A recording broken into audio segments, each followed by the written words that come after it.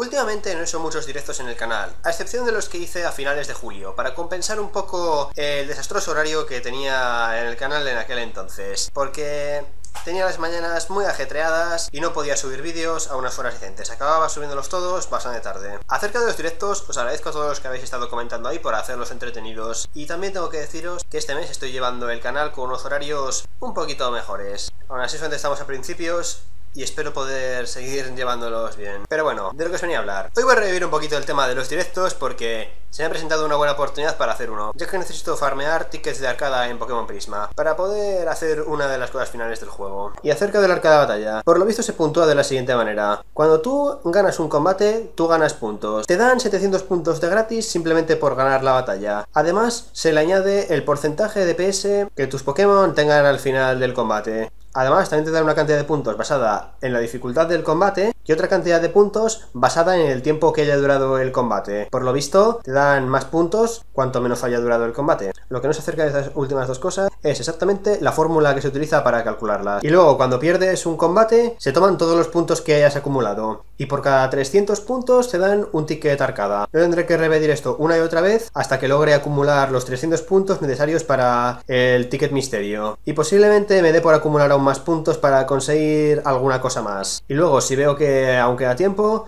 pues iré al edificio de batalla que está en Sacerdote City para levelear a mis Pokémon. Y bueno, el directo lo haré como siempre sobre las 11. Así que si os apetece pasaros por ahí cuando me ponga a hacerlo, pues sois bienvenidos. En fin, poco más de comentarios por este vídeo. Espero que os haya gustado y hasta la próxima.